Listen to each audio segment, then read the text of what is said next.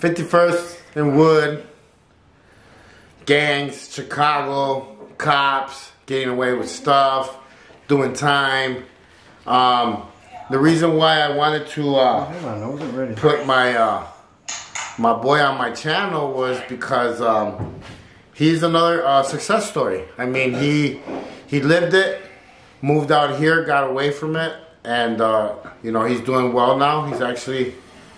I I was just telling my girl he has his whole garage full of fucking toys that, you know, what 15 years ago, we were living in like studio apartments, and all we did was drive our motorcycles I don't know if you call it. all day. I lived I lived in an apartment where I remember at night I had to have the painters because there was uh, uh You lived in a fucking auto body. yeah there was where they painted the cars.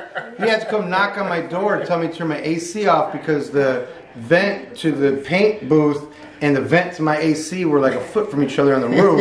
and once I remember one time they didn't they didn't tell me and I woke up. I thought I probably shouldn't have been here. I woke up high. Yeah. My whole freaking apartment was full of. Uh, uh, paint fumes, but yeah, I talk about it all the time. Yeah, so it was. But people come to my house, they're like, "Oh, you got it so you're so lucky, you got all this stuff." Or you're, you know, look at you, who gave you this? You know, I'm like, well, you know, not. Uh, it was ten years ago. I, not even ten years ago. I was living on the side of an auto body shop. Um, you know, And that's and that's here I am now, and it's not like I have, but I worked my ass off. But that's I've the had to make a lot of life choices. that if you wouldn't have grown up the way that you did, you wouldn't you wouldn't be where you're at today.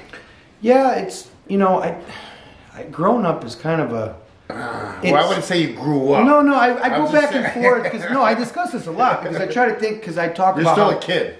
well, it's that, and it, it's growing up, and you, you start surrounding yourself with different people. You make better choices. You do. grow- It's growing up is a good word because you grow up. Because I always tell people they're like, uh, people don't change. If you're an asshole, if you're a piece of shit, it doesn't matter what all this, Happens, whatever yeah. happens. You're a piece of shit. You're a bad person. You're a bad person.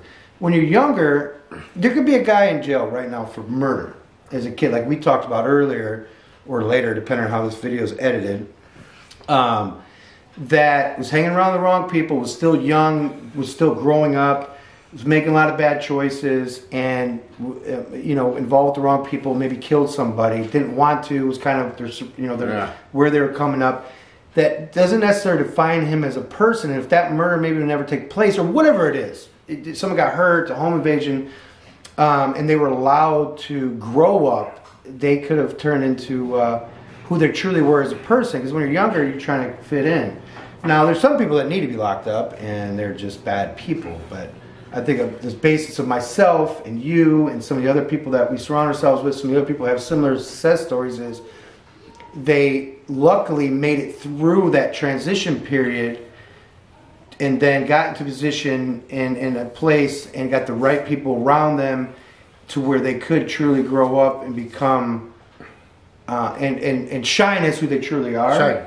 Yeah. You know, because I've always been the same person. I've always had the same Yeah, we're still the same. I mean, we don't stuff. change. It's but I was younger. I was an asshole. I was just, I was, uh, I, you know, we were neighbors, so I lived next door to him. He lived in the auto body. I lived behind the old people's house. yeah. See, I grew up, I, you, grew, what year, how old are you? Forty-two. Same age.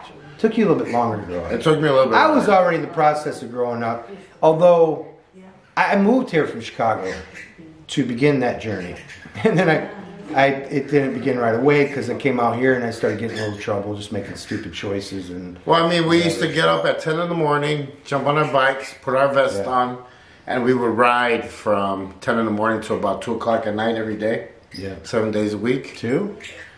I used we used to go. Maybe four. No, the bars closed at two, so there was no way it was two. It was like, and it's funny because they closed at two, and because we knew we were there, they had to drag us out eventually. So it was two thirty-three when they finally get us all out, and then we get home, and yeah, three. I remember at one point I used to we'd be out, and I'd go home, jump in my van, drive to work, go to sleep. Oh, wait, you had a job back then? Yeah, I did. That's a good. I've always had a job. I've always kept a job. I can't remember. Our paths, our journeys are different. but does it make you worse? It just, I've always kept a job. And yeah, And so I would park in the parking lot and go to sleep. So I get that extra because it took me about an hour in traffic in the morning Yeah. to do like a 20 minute drive. So I would just so I get that, you know, extra half hour, 45 minutes of sleep. And I work all day. I put. It's funny these millennials nowadays. They can't. They can't burn the candle on both ends. And I, I talk about it all the time. It's like, fuck, we'd be out to three, four in the morning. so With Tito. Tito Yeah. would call me. Yeah. Anyway, and but I'd work all day, and then I'd promise myself and go home, go to sleep, and then we'd be out. Someone would come knock on my door. Let's go ride. Let's go ride. Let's go ride. Let's go. Yeah. and that was that was our life. But you know, um, I, I wanna I wanna I wanna end it here, and you know, this is gonna be uh, more than just a one part series with uh, with Killer Bee, because we got we got a lot of stories to tell. A lot of stories. This isn't even. This we is didn't not even even dive in. This is not Like, I'm even just diving in. This is just like the beginning, and this is just like the past, Chicago and stuff. So uh, we're gonna talk about other stuff, you know, our our, our Rough Rider days, uh, our fights that we had, are making up.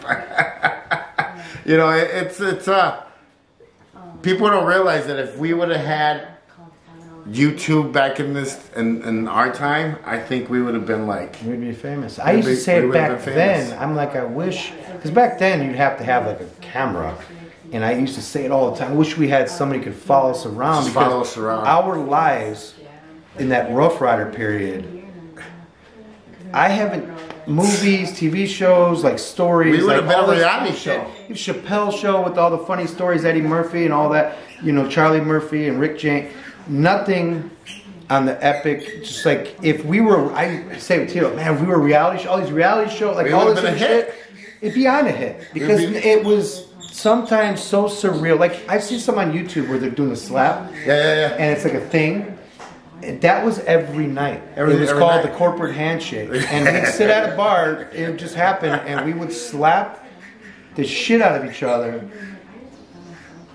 I don't know why, but we did it. We it had was fun. It was it was I have to say it was the it, it was a very good time for me in those years and I would not take it back at all because I had some of the best laughs, cries, everything and you remember that time that dude uh, was looking at you and Tito?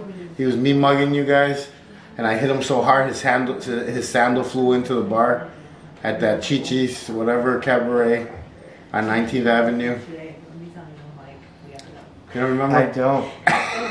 but because there's so many, there's a lot of things that I probably do. I think I do actually. Now I think about it. But you know, uh, Was it Chi Chi's? Chi-Chi's, 19th? Avenue. 19th. But back then it was something else, I think. 19th and what? At 19th Avenue and like by Oak, where, where Tito lived. We oh just no, right that was uh, pinups. pinups. It was That was pinups. Tim- and my boy Tim, Tim. Marquez shout out the shitty titty. Yeah. What's the club? Coyote. Is it Coyote? Coyotes. Uh, he's still in the business, still in the game. We should get him on here because he can tell these stories from an outside point of view and give a different perspective. Yeah. Um, but uh, And and remember, guys, this is not to like glamorize everything we do. Like, This is just to show you an insight of this is the way we used to live, but you you could actually change things around. We were not bad guys. well, I see, but that's. We I think fun. there's a lot of different, like an onion. Uh, this video because the Rough Rider days for you for it was different for everybody. For, I know for you especially, you were it was part of your your your you were um, I don't know you were still My uh, downfall. going down. Yeah. Uh, it was a lot of us were, but I still um, wanted to be a kingpin. yeah, no, you were still making, and we all were. But look, I mean, you know, but like for me, it was more like the the, the beginning of the story, and even through that. But I, the Rough Rider stuff was just, I can't take that back because that wasn't. Ah, it was fun. It was a good time. It was, and Oh we're gonna talk about that. That